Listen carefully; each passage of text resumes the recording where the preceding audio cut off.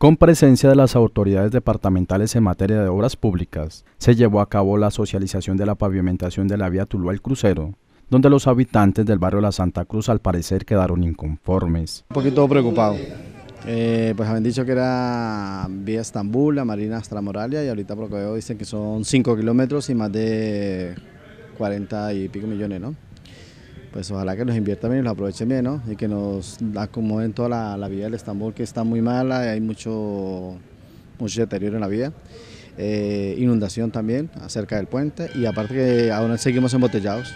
El líder comunal del corregimiento de la Marina reclamó para que esta vía sea intervenida hasta la parte alta de la zona rural del municipio. Una necesidad prioritaria, ya que esta vía es muy transitada no solo por los habitantes del corregimiento de la Marina, sino toda la zona media y alta montaña que diariamente transitan por allí para sacar ya sea alimento hacia la ciudad, hacia acá el municipio de Tuluá y para transportarse a diversas partes del Valle del Cauca. Para esta obra que será ejecutada por la administración departamental, la personería del municipio ejercerá veeduría a los trabajos que en este tramo se realicen. Bueno, nosotros tenemos eh, el deber, pero también tenemos el compromiso de conformar la veeduría y de también acompañarla en todo este proceso para que los 4.147 millones de pesos que dicen se van a invertir en la recuperación de la vía Tuluá el crucero, no Tuluá la Marina, pues se ejecuten y que se hagan con calidad sobre todo, para que no ocurra lo que hoy está pasando en partes del tramo de la vía Tuluá-Río Frío-Trujillo.